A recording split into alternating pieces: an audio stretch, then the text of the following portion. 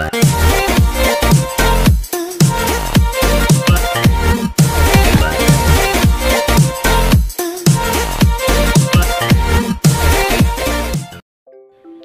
everyone, nice to see you again.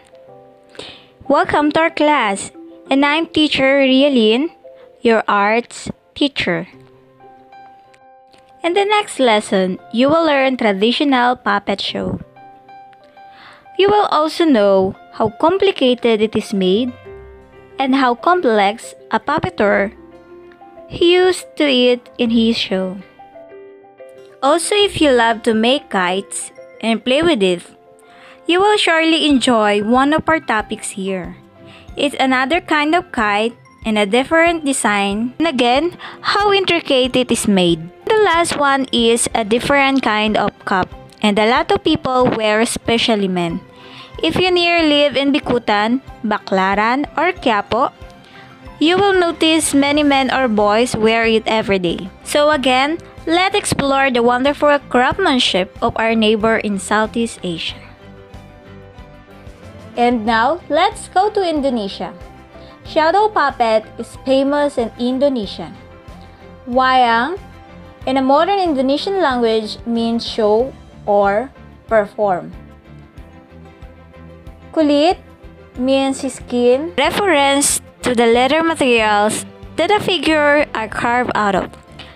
Others says that wayang is also attributed to the Indonesian word bayang, which means shadow.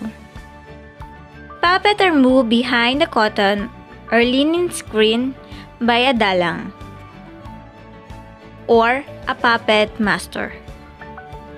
In a shadow puppet plays, the dalang tells the story, interpret, and voices each character, producing sound effect with his speech and movement and manipulates all the figures between the lamp in the screen to bring the shadows to life.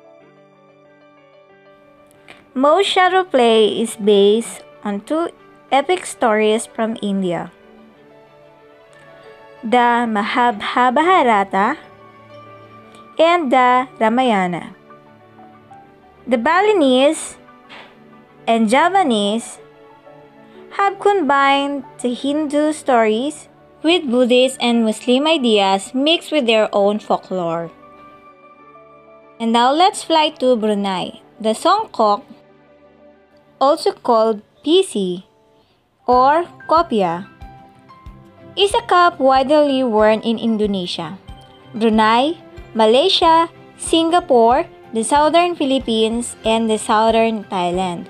Mostly among Muslim males, informal gatherings such as wedding feast, funeral, festival occasions such as Muslim Eid al-Fitr and Eid al-Adha.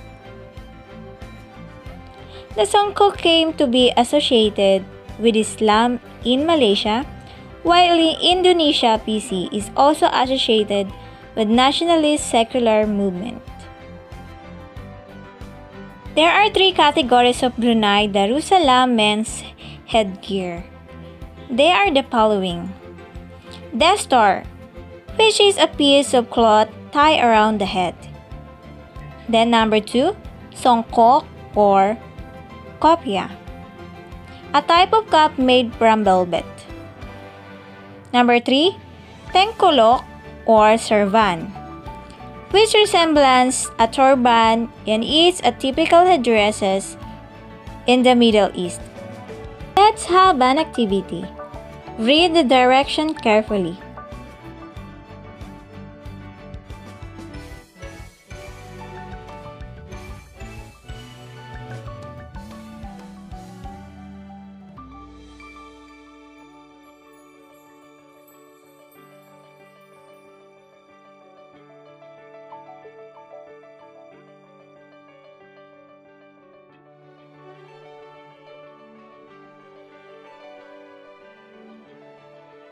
That's all for today.